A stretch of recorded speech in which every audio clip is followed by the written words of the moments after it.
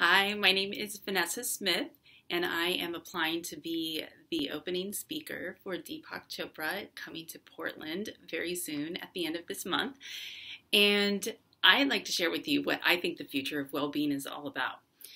So, we've got, picture this over here, we've got this amazing technology where you can really understand health from a holistic perspective.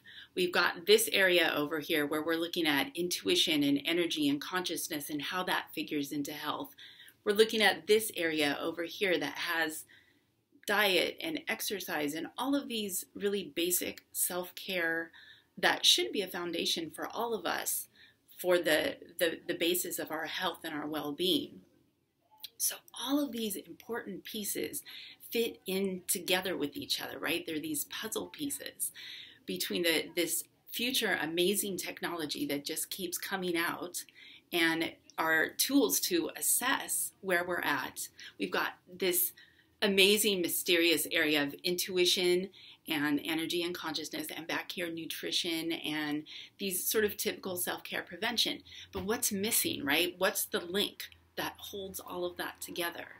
And this is going to be so incredibly simple that I actually I can't believe that it's not talked about more as the basis for well-being and the basis for um, people feeling fulfilled in their lives.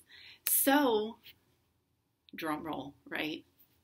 Connection, human connection, community actually feeling support. So, serving each other, helping lift each other up.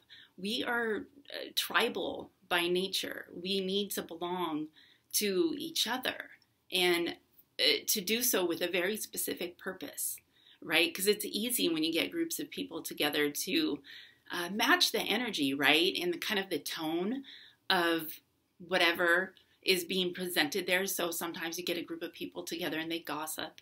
Sometimes you get a group of people together and they're all cooking. You know, we all have kind of a different purpose when we get together. But if you can imagine that little micro groups of people, you know, on a whatever scale that is, two people together or a much larger group, but they're coming together to create good, to offer service to one another, to bless each other's lives, to lift each other up. Uh, we rise together. And that, that actual human connection, where you feel like somebody truly cares about you, wants the best for your life, and is doing whatever their role is to help lift you up, that is like a little love thread that seeds everything that we need together for health. All of these other aspects are so, so very important. But when you don't have that community support to actually elevate you up, because life is messy, right?